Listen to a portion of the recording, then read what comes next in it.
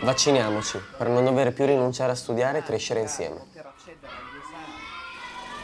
E se smettessero di guardare? Non lo faranno. E se lo facessero? Se lo facessero? Vacciniamoci per non dover più rinunciare nemmeno al cinema, insieme.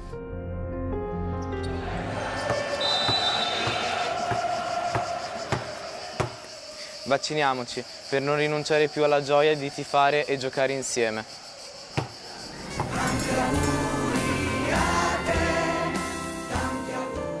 Vacciniamoci per non dover rinunciare più a festeggiare momenti importanti insieme.